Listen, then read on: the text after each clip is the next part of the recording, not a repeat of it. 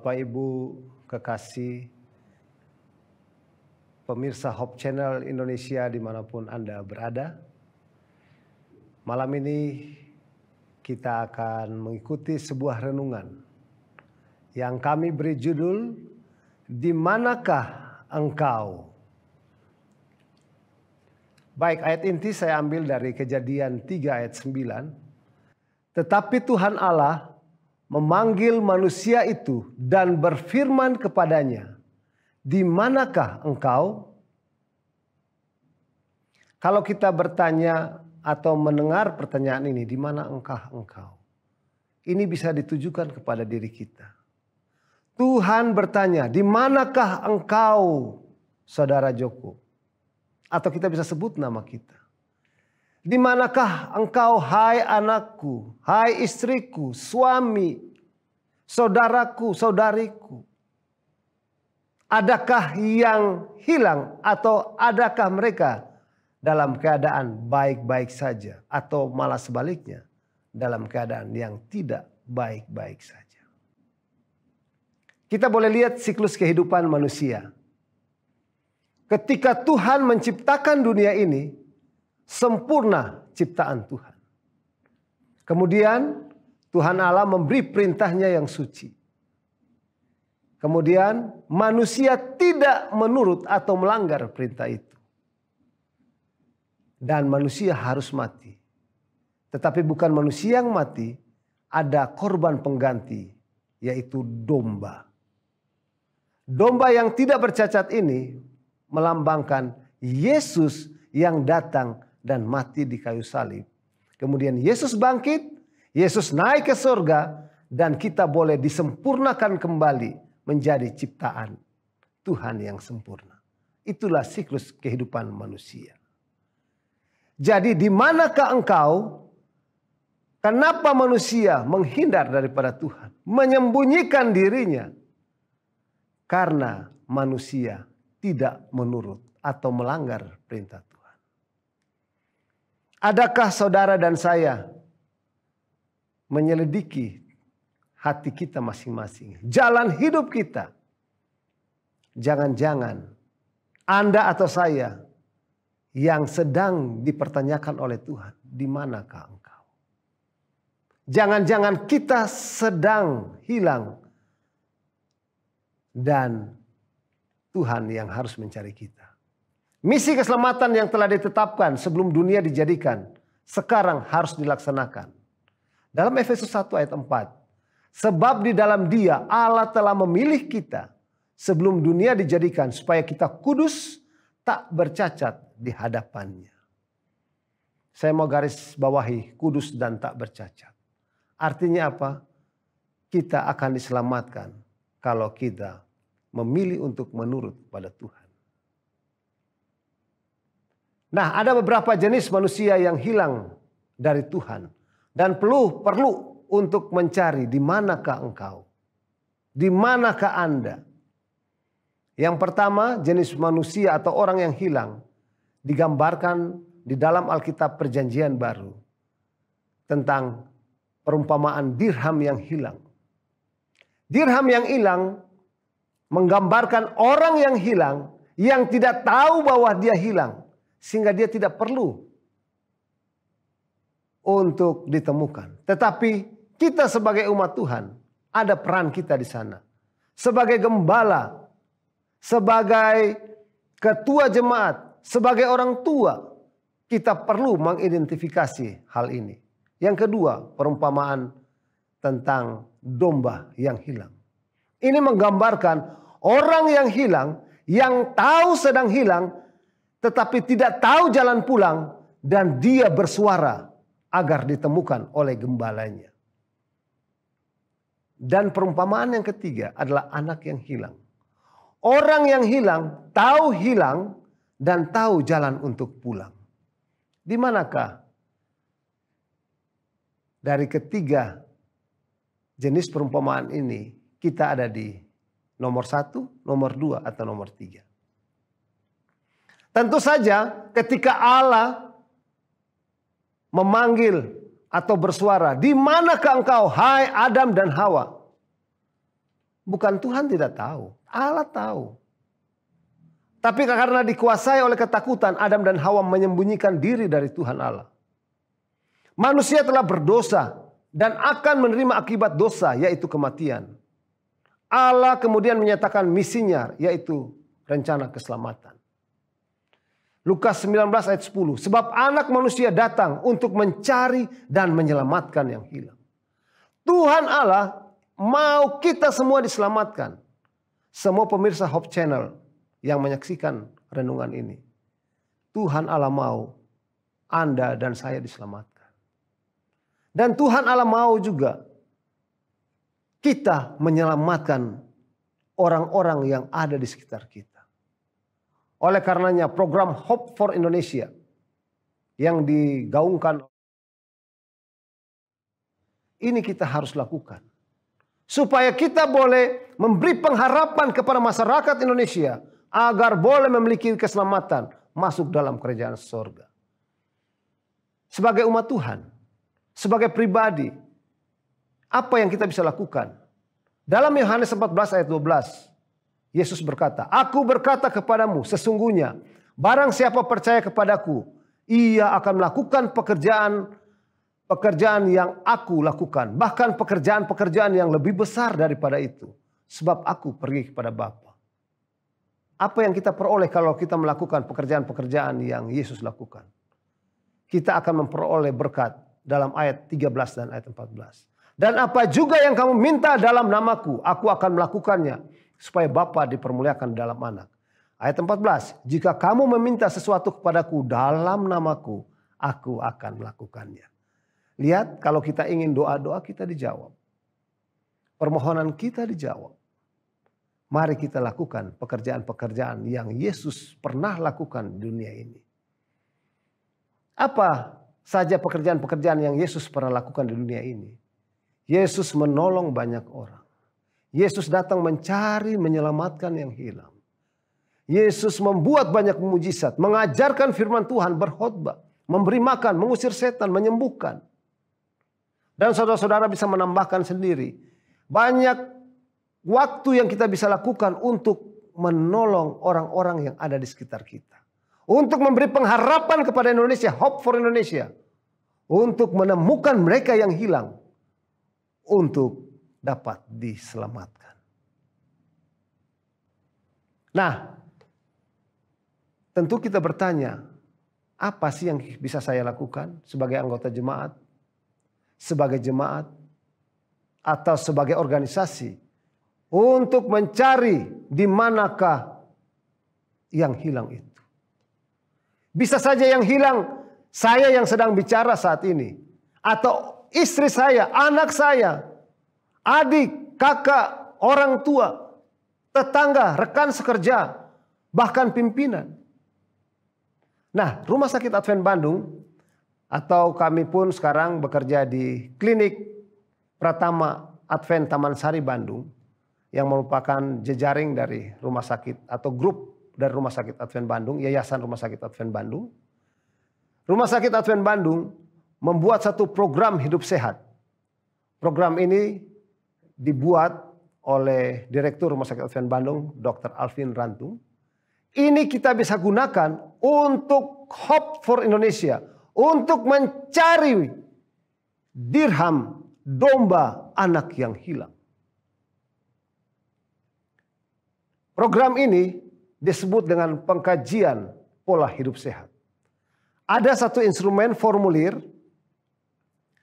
asesmen pengkajian pola hidup sehat yang kalau ini kita isi, ini kita bisa mengetahui posisi kesehatan fisik kita, kesehatan sosial kita, kesehatan psikis kita atau psikologi kita, atau mental kita, kesehatan rohani kita, secara holistik, secara keseluruhan kesehatan kita, kita bisa dapatkan dengan mengisi pengkajian pola hidup sehat ini.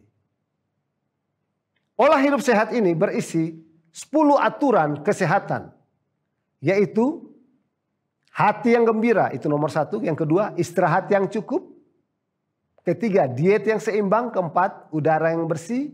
Lima, pengendalian diri. Enam, sinar matahari yang cukup.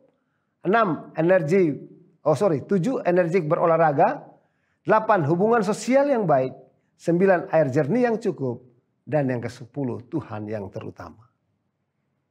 Ini kami sudah lakukan pelatihan, bahkan melakukan pengkajian hidup sehat di berbagai tempat. Jemaat, komunitas, lembaga-lembaga Advent, ataupun siapa saja, ini kita bisa lakukan untuk menolong masyarakat. Untuk menolong, memberi pengharapan bagi Indonesia, hope for Indonesia. Banyak yang kami sudah lakukan di berbagai tempat yang menolong banyak orang. Ketika pengkajian hidup sehat ini diisi, saya mau memberikan kesaksian. Ketika kami melakukan ini di salah satu tempat di daerah Jawa Timur, kami menemukan ada seorang bapak yang ketika kami sebelum acara dimulai, kami membuat meja konsultasi, datang seorang bapak. Dia mengisi formulir ini. Dan ketika Tuhan yang terutama, dia isi satu. Skalanya 0, 1, 2, 3. Dia isi satu. Kemudian saya coba bertanya, Bapak kenapa isi satu? Dia terdiam, kemudian meneteskan air mata. Dia mengatakan bahwa kerinduan saya ketika di masa pensiun ini, saya boleh berada di gereja, beribadah bersama dengan anak-anak, cucu dan juga istri saya. Tapi ketika pensiun, saya terpisahkan dari orang-orang yang terkasih.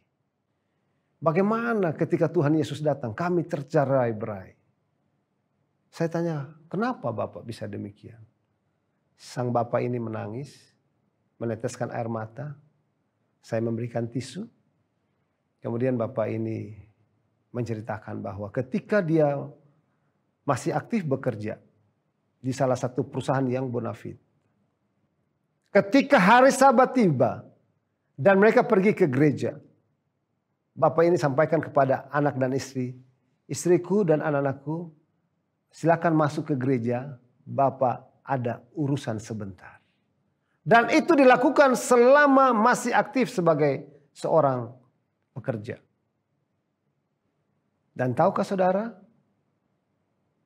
Ketika sudah masa tua, Kerinduan Bapak ini bisa berkumpul, bergereja, beribadah bersama dengan anak istri. Anak-anak ini melakukan apa yang dilakukan oleh sang Bapak. Jadi mereka Pak, kata si Bapak ini. Sekarang anak-anak mempraktekkan apa yang saya lakukan. Mama, Bapak, sama cucu tolong masuk ke gereja. Saya sama istri saya ada urusan. Lihat saudaraku, pengkajian pola hidup sehat ini, kalau kita lakukan, kita boleh menolong Bapak ini. Kita bisa menolong Bapak ini sebagai contoh dirham yang hilang. Dia tidak pernah mau mengakui, dia tidak pernah mau mengatakan, dan dia rajin ada di gereja. Tapi ketika kita menggunakan program pengkajian pola hidup sehat ini, yang kita lakukan di klinik Advent Taman Sari dan juga di Rumah Sakit Advent Bandung, kita bisa menolong banyak orang. Kesaksian berikut adalah seorang ibu anggota di salah satu gereja di Jawa Tengah. Ibu ini memiliki banyak masalah, tapi ketika dia menceritakan kepada anggota jemaat, kepada tua-tua jemaat, bahkan kepada pendeta, dia merasa belum puas. Bahkan dia sudah hampir hilang. Tapi ketika ketemu dengan kami, kami membuat suatu acara sore hari dan membuat pengkajian hidup sehat ini. Sang ibu ini boleh merasa damai dan boleh tetap berada di dalam kandang Tuhan. Inilah contoh domba yang hilang. Dia tahu dia sedang berproses untuk hilang dan dia mencari pertolongan. Tetapi kita sebagai anggota jemaat, sebagai pendeta, sebagai tua-tua jemaat harus mampu untuk bisa menolong. Dan pengkajian pola hidup sehat ini bisa menolong. Contoh kesaksian berikut adalah tentang kesaksian anak yang hilang. Ini ceritanya seorang anak di Pekanbaru. Anak ini dia sudah menikah. Dia mencari kedamaian diri. Dia sudah berpindah-pindah keyakinan. Dia sudah mencari kedamaian itu. Dia pesta pora. Dia melakukan banyak kegiatan-kegiatan negatif yang membuat istri dan orang tuanya khawatir. Tapi tatkala kami mengadakan kegiatan di Pekanbaru dan anak ini datang bersama dengan istrinya. Dan ketika datang ke dokter, dia punya sakit mah. Khawatirnya luar biasa. Kemudian dokter menyarankan, coba Bapak isi pengkajian hidup sehat dan datang ke kami. Kami coba melakukan pengkajian. Dan tahukah saudara, dia mengisi di hubungan sosial, dia taruh nol. Saya tanya, kenapa hubungan sosial taruh nol?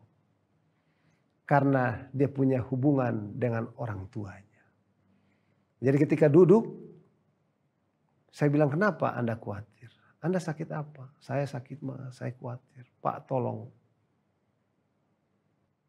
Kemudian boleh ceritakan kenapa Anda khawatir? Apa yang sudah Anda lakukan tentang khawatiran itu untuk menghilangkan? Dia ceritakan.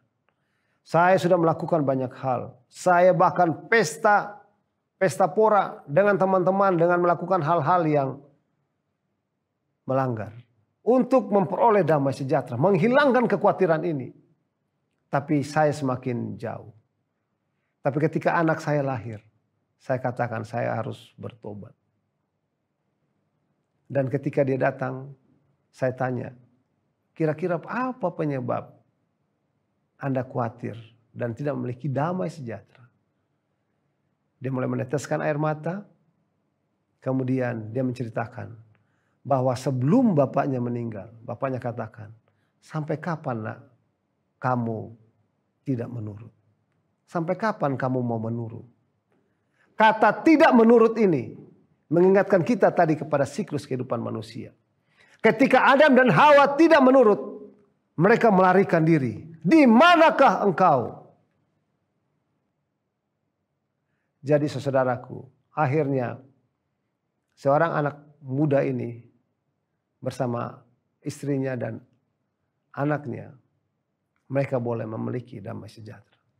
Bisa saja Anda dan saya atau orang sekitar kita memiliki kekhawatiran tidak memiliki damai sejahtera karena sedang tidak menurut kepada perintah Tuhan, kepada peraturan pemerintah, sedang melanggar aturan sehingga membuat sakit, membuat tertimpa masalah atau kondisi kesehatannya tidak baik-baik saja. Siapakah yang mau mencari mereka yang hilang ini? Inilah program pengkajian pola hidup sehat bisa digunakan untuk Hope for Indonesia, menolong banyak orang. Rumah Sakit Advent Bandung sudah melakukan itu dan juga kami di klinik pertama Advent Taman Sari Bandung. Dan dalam sahabat ke depan ini kami akan melakukan pelatihan di salah satu tempat di Jakarta. Untuk menolong, melatih jemaat di sana supaya mereka boleh mampu melakukan ini dan menolong masyarakat di sana. Saudaraku yang kekasih, tentu saja kita semua ingin selamat. Tentu saja kita ingin ke surga tidak sendiri. Kita ingin anak, istri, pasangan hidup kita keluarga kita, tetangga kita, rekan kerja, kenalan kita, handal taulan kita. Tetapi Tuhan Allah memanggil manusia itu dan berfirman, di mana ke engkau? Harusnya kita menjawab, di sini aku Tuhan. Kenapa kita tidak mampu menjawab? Adam dan Hawa tidak mampu menjawab karena mereka melanggar. Lukas 19 ayat 10. Sebab anak manusia datang untuk mencari dan menyelamatkan. Lukas 15 ayat 10. Aku berkata kepadamu, demikian juga akan ada sukacita pada malaikat-malaikat Allah karena satu orang berdosa yang bertobat. Saudaraku yang kekasih, di manakah engkau? Mari kita selidiki hati, pikiran, dan jalan-jalan hidup kita. Mari kita identifikasi, jangan sampai kita ada di golongan dirham yang hilang. Orang yang tidak tahu dia hilang. Anak yang hilang. Orang yang tahu dia hilang. Dia tidak tahu jalan pulang dan dia bersuara untuk mendapat pertolongan. Ataukah kita ada di golongan anak yang hilang? Kita tahu kita sedang hilang kita tahu jalan pulang dan kita dapat pulang kembali. Sehingga surga boleh bersuka cita karena satu orang berdosa bertobat. Bapak Ibu yang kekasih, bila mana Bapak Ibu butuh pertolongan, kami dari Rumah Sakit Advent Bandung dan Klinik Pratama Advent Taman Sari Bandung siap menolong memberikan pelatihan konsultasi hidup sehat ini supaya kita mampu mengidentifikasi jenis-jenis kehilangan ini. Jenis-jenis orang yang hilang ini. Demikian Bapak Ibu, saya bawa firman Tuhan ini, di manakah engkau? Semoga ketika Tuhan Yesus datang bertanya di manakah engkau? Kita bisa berjawab, di sini aku Tuhan. Bersama keluarga saya, handai tolan saya, siap untuk diselamatkan. Mari kita sambut Hope for Indonesia memberi pengharapan keselamatan buat masyarakat Indonesia. Saya bawa dalam nama Yesus.